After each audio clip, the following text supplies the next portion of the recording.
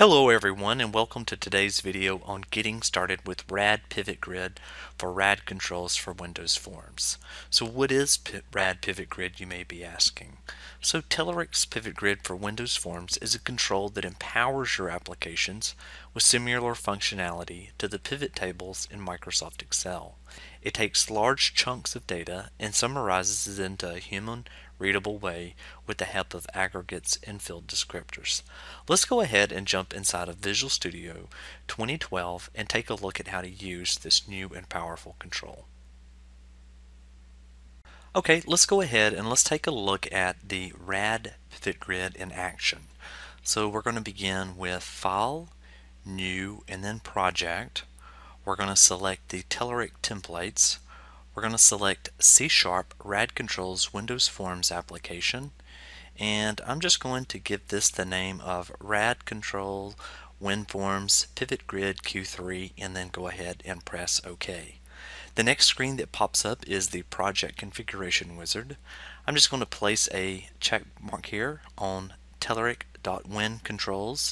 telerik.wincontrols.pivotgrid and you'll see the dependent references have automatically been added for us. So from here I'm going to go ahead and hit the finish button and Visual Studio will begin spinning up.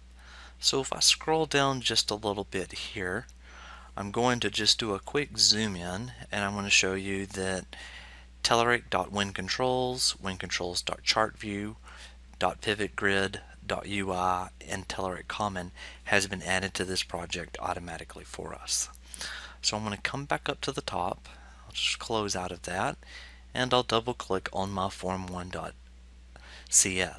So we're going to search our toolbox for rad pivot grid and once we do that I'm going to select it and I'm just going to drag and drop it onto my form here. So now that I did that the first thing that I'm going to do is I'm going to change the way this item is docked. So I'm going to go underneath docking and I'm just going to center it but I'm also going to search for a button as well because we're going to show a printing demo in just a moment as well. So I'm just going to type in rad button and I'll drag and drop that onto the same screen here and we will select dock and for this time this dock we're going to go ahead and select it at the very bottom while we're in here we'll just go ahead and scroll down just a tad and we'll go to text and we'll just name this print preview and hit OK. So I'll expand the form out just a little bit where we can see everything. So the very first thing that I'm going to do to this project is I'm going to come up to the top and I'm going to add some data to it. So I'm going to right click and I'm going to select add and I'm going to go existing item. And I'm just going to scroll down just a little bit and go to my temp folder here.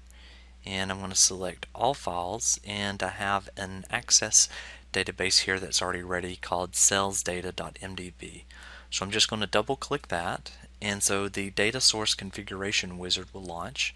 I'm going to select dataset select next. I'm going to select all of the tables in that. We'll just leave the default name and then we'll go ahead and we'll press finish. Now that we did that we can click on the smart tag to our pivot grid control and we can go down to open property builder. Once we select open property builder you'll see the rad pivot grid property builder in your dialog screen you can select data source we're going to select other data sources and we're just going to keep drilling down until we get to the actual sales data so now that we are at sales data, we have the option that we can either turn on or off a couple of different features such as dragging and drop in, context and sorting. We're going to leave all of these at their default and go ahead and click on fields. So now that we click on fields, we're going to select date here, then product, then promotion, and then net. From this screen, we are going to go down to our row labels and underneath our row labels we're going to drag and drop product and date to the column labels so I'm just going to grab date and drag it over here to the column labels as well as product and we're also going to add in advertisement so I want to place a check here in advertisement and you can see it's been added here. So at this point I could go ahead and I could select OK and we could actually run our application now. So if we run our application you can see form 1 has been loaded and that we have data inside of it. And inside of this we have our promotion of course. We have sorting capabilities there as well as Excel-like filtering. And then of course we have date and we have product. You can sort these as well if you would like to. You can break this down into just 2010 without showing the rest of these fields. And of course if we just wanted to see the data we could get down to one free with 10 in 2010 had 39,000 034 we see we have a nice little tooltip that comes up there. It gives us a grand total. We can also see extra discount. It also has a grand total of these two sums. Well we have a button that we haven't done anything with yet and this is the print preview. So if your user would like to print this information they can do so very easily. So let's go ahead and add in that functionality now. So we're just going to close out of the application and we're going to double click on print preview. So I'm going to collapse the toolbox and I'm going to expand our screen here. And the first thing that I'm going to do is I'm going to clean up our using statements. There's a couple of using statements that I know I want to use and I'm just going to go ahead and add those in with this project. So I'm going to scroll down just a little bit and I'm going to add in two event handlers. And I will paste those in after the this.sales data table adapter and I'll scroll over just a tad and I'll explain those. So you see we have two of them added here. We have a print element formatting and a print element paint.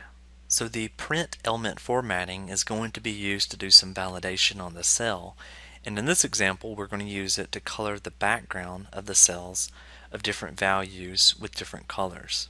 So let's go ahead and drop in the print element formatting method. So as you can see here, we're getting the cell, and then once we get the cell, we're doing a couple of checks on it. And if the value is less than 2000, then we're going to do a cell.backcolor and give it a color of red. If it's greater than 3000, then we're going to color it green. So we've added in the print element formatting. Now we need to add in our print element paint. So we can go ahead now and drop in our print element paint event handler. So we'll just do that right here. And once we have added that in, let's go ahead and examine the code a little bit for this. So you'll see that we are instantiating a pivot cell print element and we're just defining that by a name of cell and it equals e dot print element as pivot cell print element. So we're just checking to see if the cell is null and the cell value is null. And if it's not null, then what we're doing is we're going inside of this and we're checking to see if the cell value is greater than 2000 or if it's less than 3000.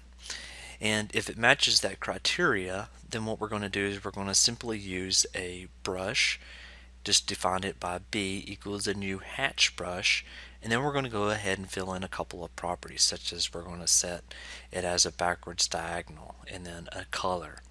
After that we're just going to fill that rectangle with the brush and then the E dot bounds. So we can see here in the comments so anything that's red for below 2000 this is going to be what is the cell will be colored a hatch is going to be between the 2000 and 3000 and then green is above the 3000 which we can see how that was defined up here a little bit earlier.